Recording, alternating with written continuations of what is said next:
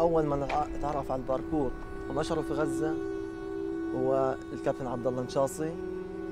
طبعا بعد ما عبد الله سافر واستقر في إيطاليا صار وضع الفريق متضعضع شوية.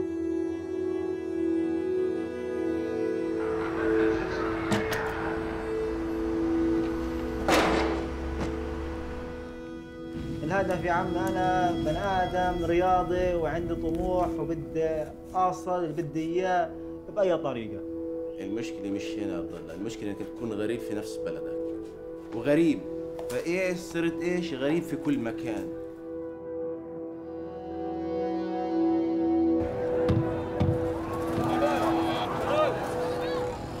وضع الحصار صعب إسرائيل مسكر عليه.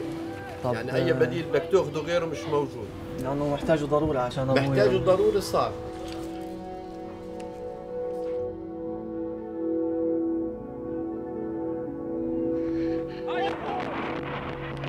احتمال في 3 نوفمبر رايح السعودية بدنا عندي بطولة تاعت الباركور هاي. هاي نجرب حظي؟ شو ورانا؟